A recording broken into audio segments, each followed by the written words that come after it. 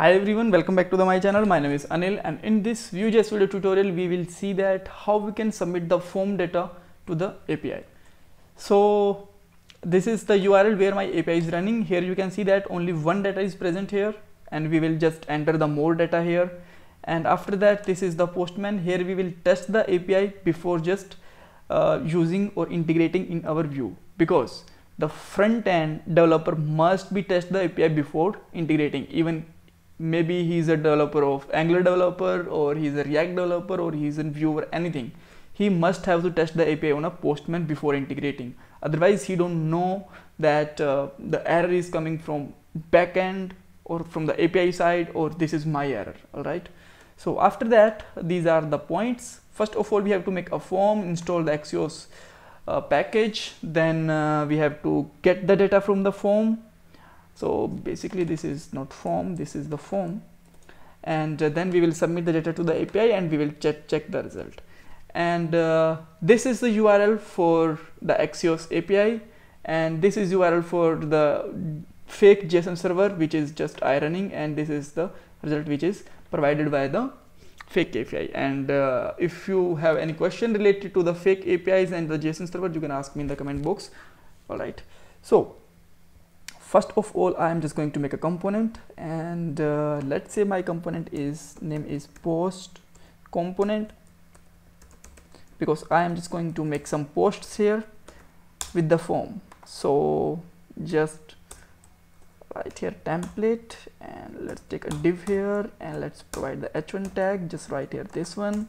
And now just write here script and here you can put the uh, component name. Now let's import this component to the main component which is app.vue so just simply write here import post form from path. So components and the component path. Now let's register this component inside the components and simply use it like this so now let's check out the result here. Now you can see that component is imported successfully. So i am just going to remove this h1 tag here and let's make a very simple form. So just uh, make a form here. And with the form we have to define the two things. One is uh, basically uh, submit directives. So just write here at the rate submit and the function name. I will define the function name and uh, here where we have to define? Let's define the two properties of the Vue. First one is the data. Here we will define the data. All right and second one is the methods. So in the methods this is basically object and here we will define our uh, post data function. All right and now let's use this post data function for the submission. And now let's define the method. Method will be the post because when we are submitting the data the method type should be post always. And we, when we are getting the data then the uh, method type should be get. So now I am just going to define uh, some more properties like uh, input box and uh, name can be author right? Uh, then I am just going to use a br tag so that we can just maintain some space because we are not using css we are focusing on simply uh, just simply use this br tag right? Because we are just focusing on the logical part all right and uh, now it can be a title. And after that let's take a button. Uh, this is not b this is the button basically. And just write here post. And button type also be the submit. Perfect. So let's see what we are getting on the page. Right. So we have the two input box and one is the button. All right so now for getting the data here we have to define the properties. So i'm just going to return a property here with the name of posts. And posts will have the two properties. This is the form name which is the post. If we are just want to get the all properties of the form then we will use the post. If we just want to get any single property then we will use the internal name. So just then uh, it can be title and by default value of the title will be the null. And same for the author. And by default value will be null. Great. Now let's bind these properties to our uh, data. So just write here we bind and just write here title. And uh, the similar way. Okay this is the author actually.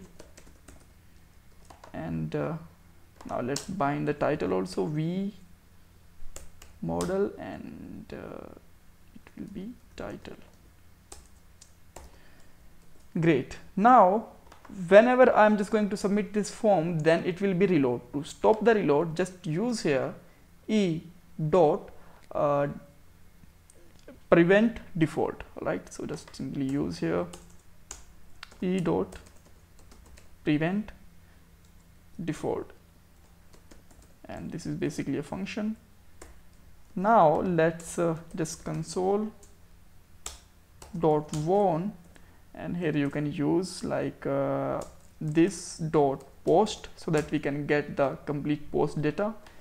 I hope everything should be fine. If we got any error then we will see it. So let's say okay so let's put here the type placeholder also so that we can just get the name. Let's say author and uh, then placeholder can be title right why? I don't know why this is not auto refreshing I think there is some issue. Okay. We'll see it. So let's say author is Peter and title is let's say blah blah for a moment.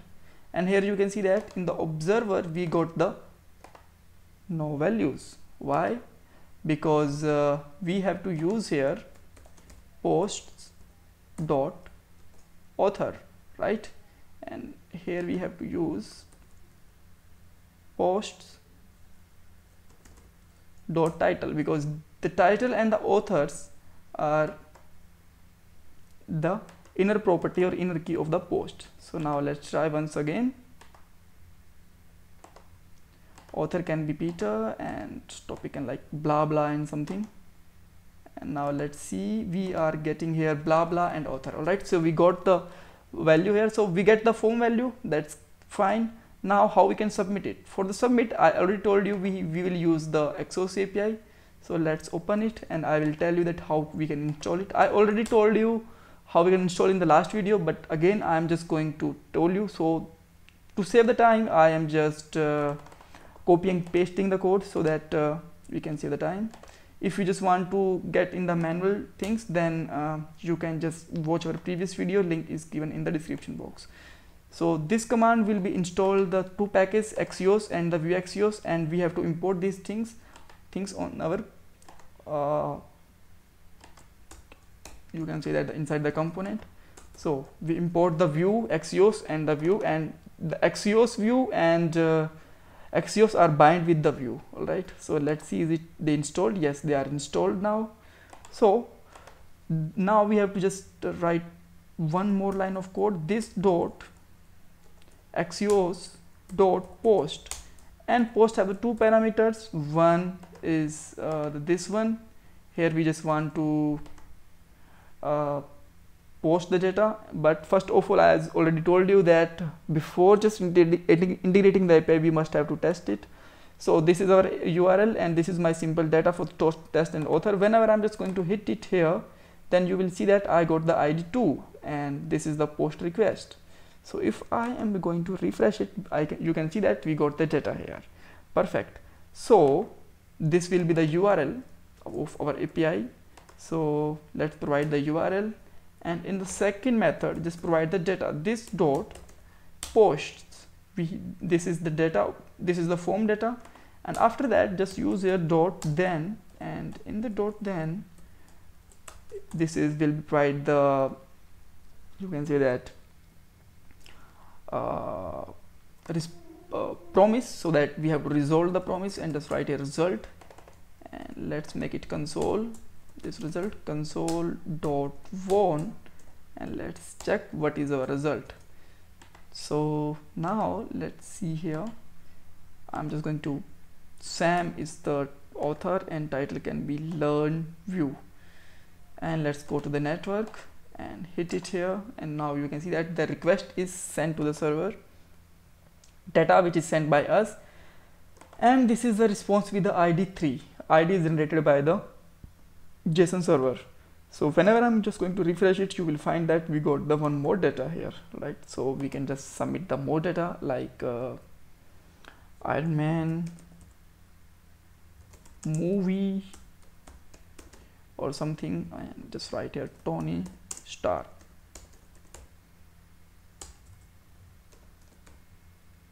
And just submit it.